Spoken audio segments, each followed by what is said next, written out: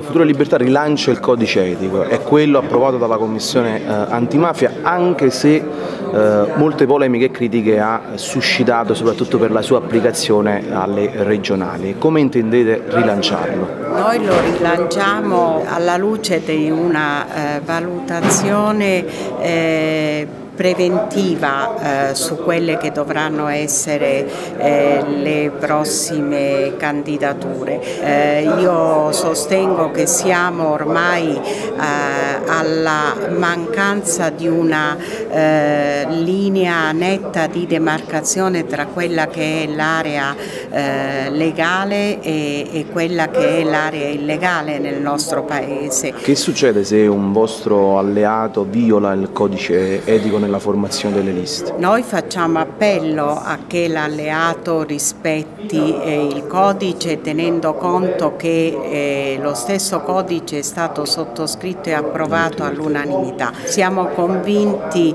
eh, che forse eh, la, la, presenza di un governo tecnico richiami eh, proprio eh, il mondo politico a quella responsabilità necessaria per ridare eh, alla politica tutta credibilità.